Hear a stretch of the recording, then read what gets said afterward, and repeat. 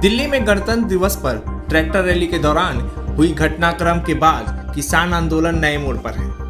दिल्ली की सड़कों से लेकर लाल किले तक। उपद्रव की तस्वीरों ने देश को विचलित किया है। इन सबके बीच आंदोलन का अगला महापड़ाव मुजफ्फरनगर बन गया है।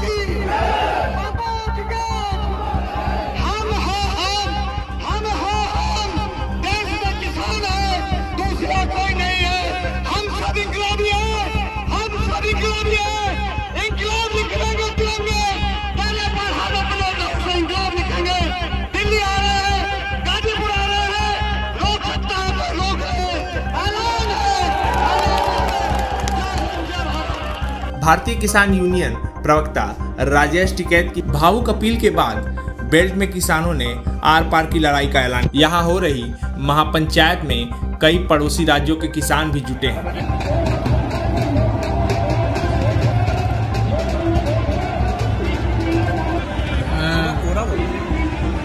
हाँ सुबह हुआ।